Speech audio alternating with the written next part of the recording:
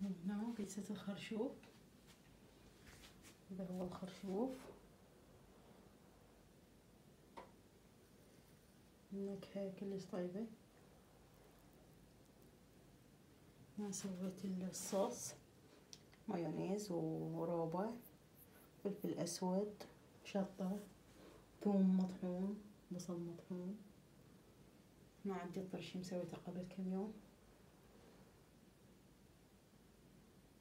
طبعا البيتزا عبارة عن خضروات خرشوف وخضر وطماطم وزيتون وفلفل ألوان.